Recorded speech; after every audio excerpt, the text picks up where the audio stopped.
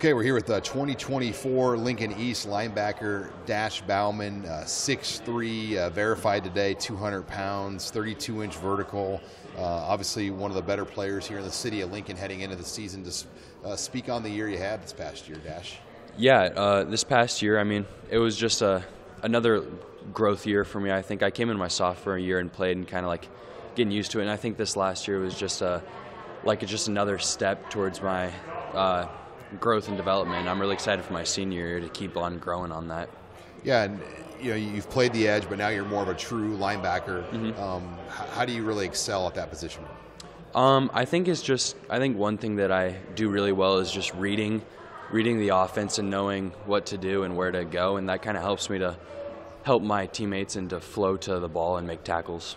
Uh-huh. What um now you, have had a lot of teams recruiting you. Um, who are the main players right now? Um, I think I've talked to Wyoming quite a bit. They're kind of one of the first schools to reach out to me, and uh, they're one who's kept in good contact with me. Um, and also, I just visited South Dakota and South Dakota State. Uh, I liked both of those schools a lot. And they're all talking linebacker.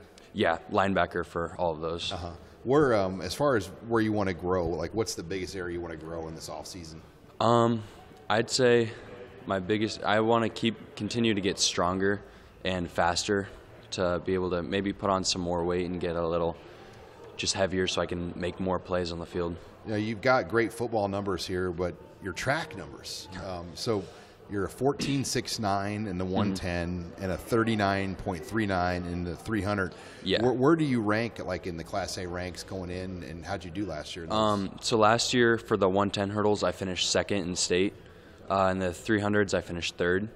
So i am pretty excited going into this track season. I think I can really, really excel in the, especially the 110s. I've kind of been working on it this off season, so I think it can turn out pretty well for me. Caden Cheddock from Lincoln East, a six foot four, um, around 220 pound DN tight end. Uh, first of all, Caden, talk about the season you had. Um, yeah, I kind of came out of nowhere. First main varsity season, especially playing D end a lot of fun playing under Coach Gang and Coach Trowbridge, just coming in as our new D coordinator. A lot of fun, really getting to use my athleticism on DN, and obviously having a really good season.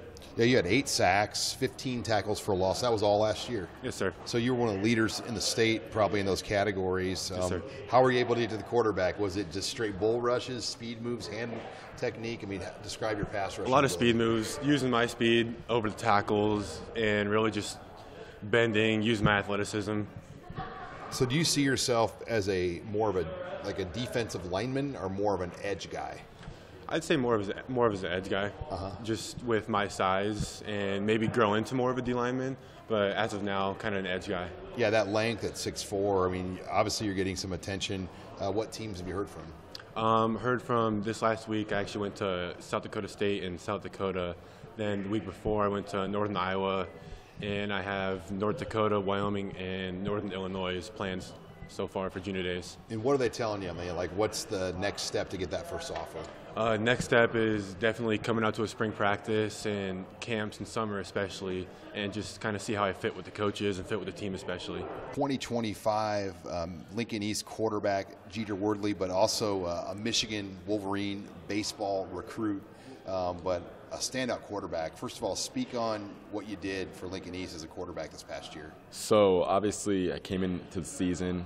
The expectation was kind of just ease into the varsity level, catch up with the speed of it. And first game I actually didn't start. I came in the second half when we were down, I think six nothing at half, and then I just kind of took over from there. Took over the rest of the season, and I mean, experience-wise, it went really well. Like like I said, I mean, I kind of felt like I got comfortable in the position that I was at. We had a lot of weapons on the outside that I felt I had a good relationship with, and um, so I just felt like I got better throughout the season, got more comfortable throughout the season, and um, really excited for what's coming up in my next two years. Yeah, have you always been a quarterback? Uh, I actually haven't. Uh, my first year was in eighth grade. I took over at quarterback. I was always a running back early on, and then um, from baseball perspective, I was always able to throw well, so it kind of just it was an experiment in my eighth grade year, and I did really well at it. So I just kind of stuck through with it. And freshman year, played on the freshman team, got sent up to varsity to be kind of the backup. Just uh, watch Noah Walters and how he was, because I mean he was amazing, and I learned a lot from him. And just like I said, I mean stayed from that. And you know, there's a group of young baseball players in this area between Lincoln and Norris. A lot of you guys have gotten early commitment opportunities. What led to you committing to Michigan so early in baseball? It was always my dream school. Like, I mean, I was always a Michigan fan growing up. So, I mean, when the opportunity came, it was, you know, I felt like it was the right decision. I mean, I was never always a big guy and like rushing the decision because, I mean, it's huge, you know, spending your four years of college. I mean, that's a big decision you have to make. So, obviously, I felt it was where I wanted to be. And, I mean, the coaches, original coaching staff I committed to left, so I'm still building a relationship with the new ones right now. And, it's going well so far. Now I see your area code seven eight five. Are you originally from Nebraska or? I'm not. You, I moved. You? I moved here from Sabetha, Kansas. Sabetha, Kansas. Yeah, my eighth grade year. So. So what? How that all play out? It was more just for bigger opportunity because it was a small town, uh, 1,500 people, and I mean it was a great community. Like I'm, I can, I miss it some sometimes, but overall, I mean we moved here for better opportunity, and it's worked out so far. Yeah, no doubt. Uh, so do you have in the Michigan baseball like they had a coaching change, but everything's still the same with you with the Wolverines right now? Yeah, yes, sir. What? Um, how often do you go to Ann Arbor? I've been there three times. So we, our most recent time was during the Nebraska football game. We went up there and met with the coaches, talked with them a little bit, walked around the campus some, and then watched the game obviously. And it was a great experience again. Just loved it up there and felt like home. When for football, obviously you're looking at football as a prospect opportunity. What would it take to kind of change you to want to do football in college from baseball? Um, just see how everything plays or out. With, both. Yeah, I mean, if the, that opportunity comes, obviously it's again a big decision I'd have to make. Um, that'd be ideal, probably.